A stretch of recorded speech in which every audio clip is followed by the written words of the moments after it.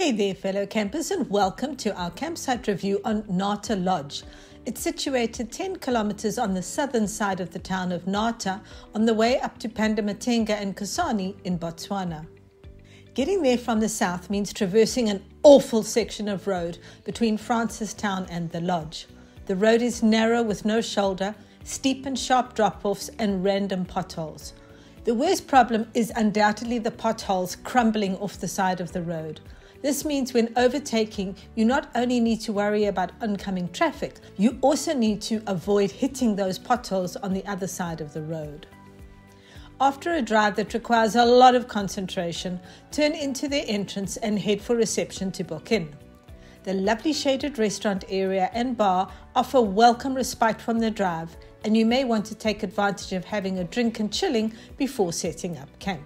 The campsite is set entirely on sandy soil, there is a stretch across one section that is thick with heavy sand and it is clearly marked as a 4x4 road. Stick to the other outer roads and you'll be fine in any type of vehicle. A ground sheet is useful here just to keep the sand out of your rig to some extent. And unless you wear closed shoes, there's not much chance of you keeping your feet clean.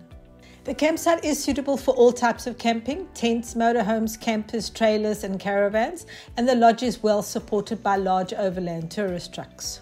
The campsite is mainly divided into areas surrounded by trees and shrubs and is suited to one party at a time. There is space and some level of privacy between the sites.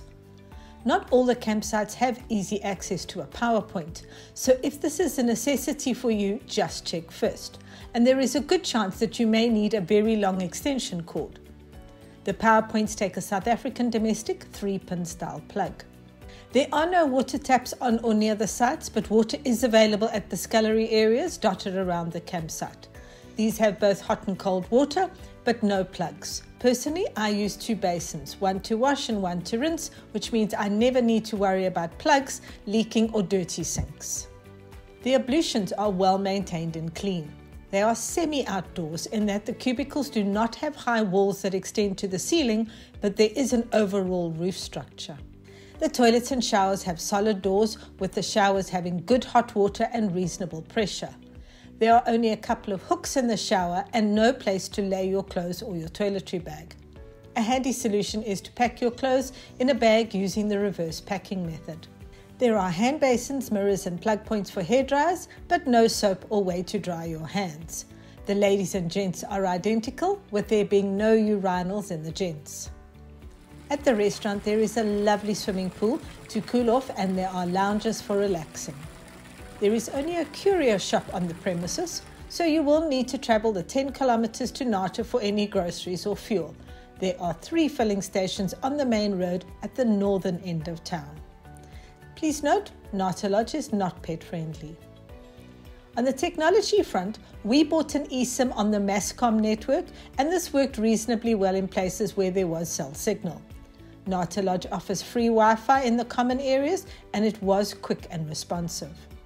The property is fenced and they have introduced a 24 hour security guard to the area.